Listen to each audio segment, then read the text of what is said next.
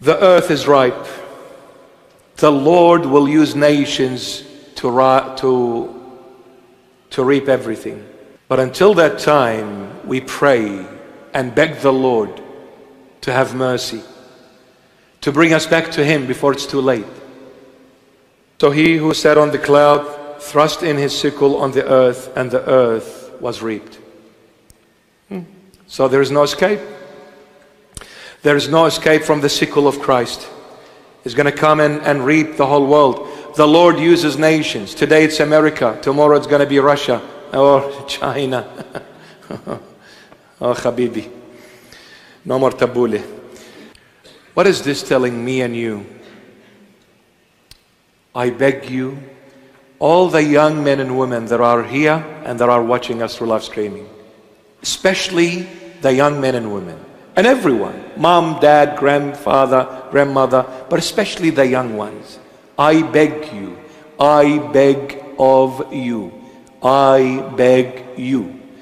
Don't ever lose track of who you are and what you are and who purchased you with his life, with his precious blood, who delivered you from eternal hell, from eternal death, from sin, from condemnation, who came and died and suffered for you and me and all of us. Don't ever lose track of Jesus Christ of Nazareth. I beg of you, don't go where the Lord disapproves of.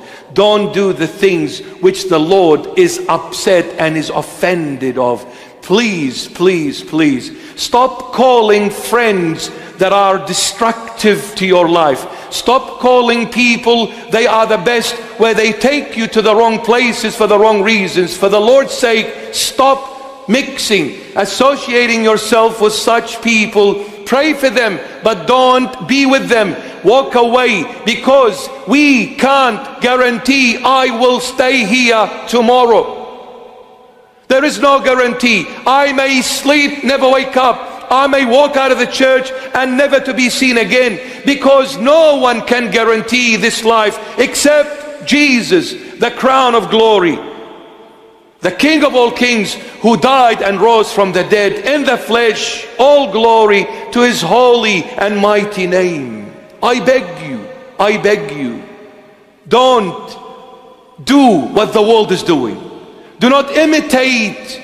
You are beautiful in your Father's eyes, in your Heavenly Father's eyes. You don't need to be beautiful for the world, a deceptive, poisonous world.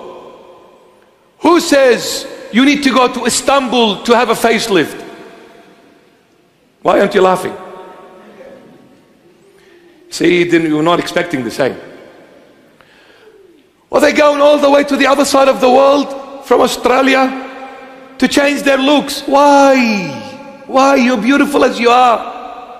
God wanted you this way. Thank God for the looks He's given you. Thank Him. Don't puff up your face and your lips, my daughter. Don't. Who gives one penny about people and what they think of you? Let Christ see you beautiful. The Lord will always look at your heart, my child. Your heart. Your heart. Let's make this heart beautiful for the Lord. Not the looks, because the sickle is coming. The reaping, the, the reaping is coming. The time is coming. Everything is going to be reaped. Everything is going to be burned. Everything is going to be destroyed. What facial changes. Be close to the Lord. Be close to His holy house. Be close to His holy word. The Bible, the Holy Bible. Be close.